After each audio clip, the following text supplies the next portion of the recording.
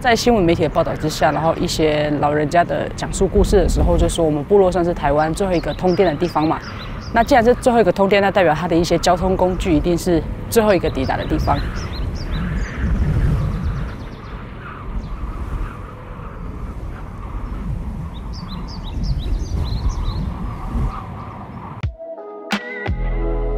我叫比树一，原住民叫比穗。那我来自司马库斯，对不对？啊，重来一次，重来一次，重来一次，当然不太对，再你再问一次好了，重来，反正你会剪掉嘛。我是来自台湾新竹县碣石乡司马库斯部落的比树一。呃，我们部落全部都是泰雅族的族人。那我们的信仰是基督徒，信仰跟习俗的规矩其实很类似。其实我觉得这个不冲突。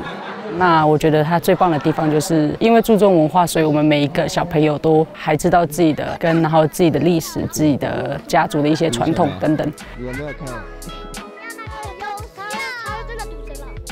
其实我们回归到最后，结局都是爱跟包容。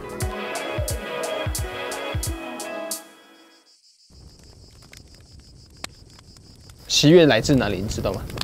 来自于你猎到猎物的时候，猎到猎物的时候，你看到哇，我们终于猎到猎物了，那个喜悦感，对，就像就像打篮球，有没有？你原本不会打篮球，你原本你投了十颗，一颗都没进，但是你努力不放弃，然后投进了一颗，有没有？那个开心的愉悦，就像我们去打猎。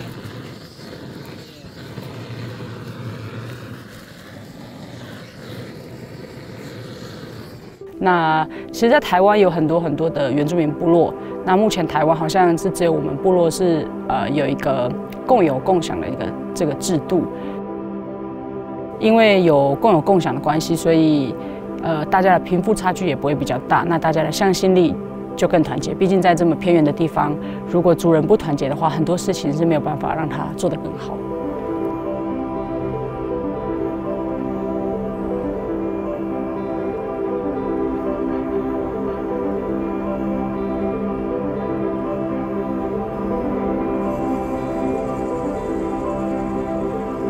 为什么会有这个呃神木？是因为我们以前头目梦见一个很美的梦，然后他们去把它找寻出来才找到的，然后就慢慢变成那个观光圣地。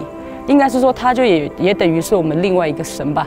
就说当然不是崇拜的那种信仰的那种，但是它也是等于算是守护我们的大自然的神吧。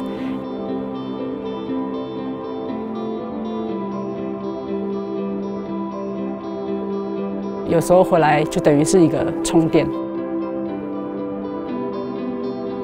势必就是要提醒自己，就是虽然我自己选择去外地工作去学习，但是不可以忘记自己最初的那个样子。